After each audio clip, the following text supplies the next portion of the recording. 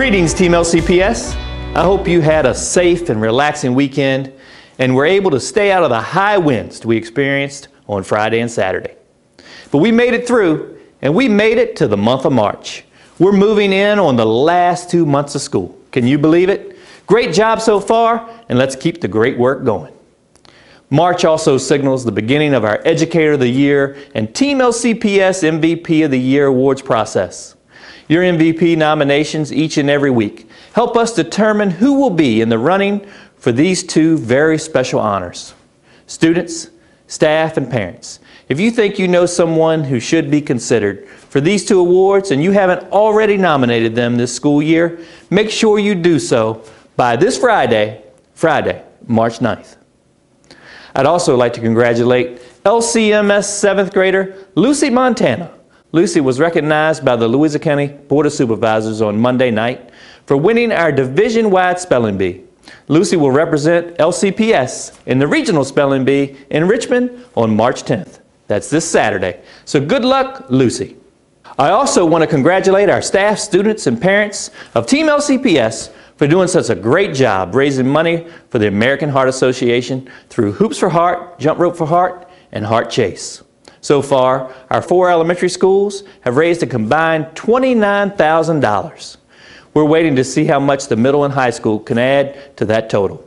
Already, we have surpassed our totals from the past few years. This is what being a member of Team LCPS is all about, using our gifts, talents, and education to better our community, our country, and our world. Keep up the great work, Team LCPS. And speaking of team, it's time to hand out this week's Team LCPS MVP Awards. So here we go. And we're going to start with our Community MVP Award, and that's going to go to Miss Rhonda Laporte.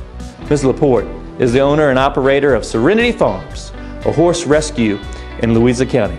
Twice a week, Ms. Laporte opens her farm up to LCPS students as part of their learning experience.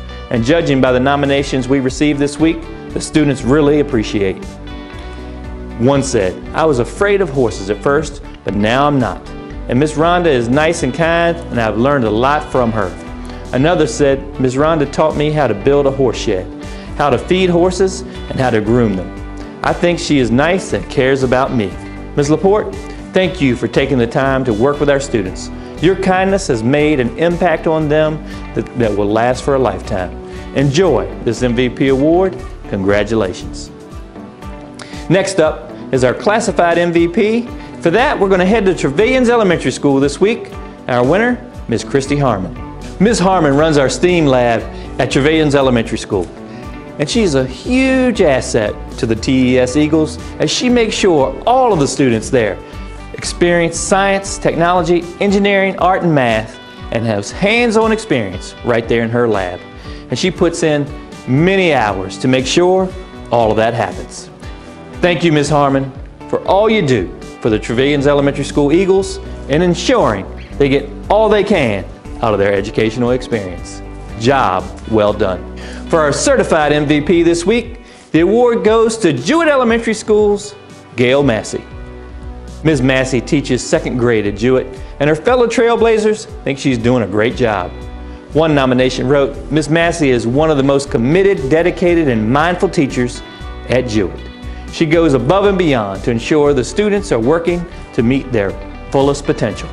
Ms. Massey, thanks for helping out in many different ways for us here at Team LCPS. I appreciate your hard work, the support you lend, and those high expectations you have for all of those around you. Enjoy this MVP award. And finally, we hand out our Student MVP award this week, and it goes to Gabrielle Wood at Louisa County High School. Gabby has served as a student tutor for the past two semesters, and she's handled the role extremely well.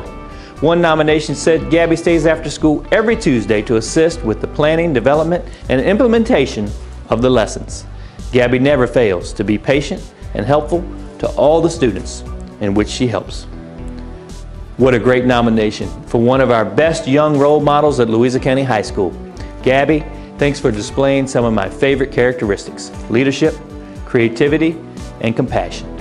Enjoy this MVP award. You have earned it. Ms. Laporte, Ms. Harmon, Ms. Massey, and Ms. Gabby Wood. Congratulations on being this week's Team LCPS MVP Award winners. You are awesome. And thanks for demonstrating one or more of our non-negotiables. You four are great team players for our team as you show that support, high expectations, accountability, and consistency, and have that true grit to make sure we get it all done. As always, keep those nominations rolling in. You all have done a great job filling out those forms each week. To fill out a form for this week, click on the link underneath of this video. We'll be coming back at you again this Friday. Have a fantastic week, and we are Team LCPS.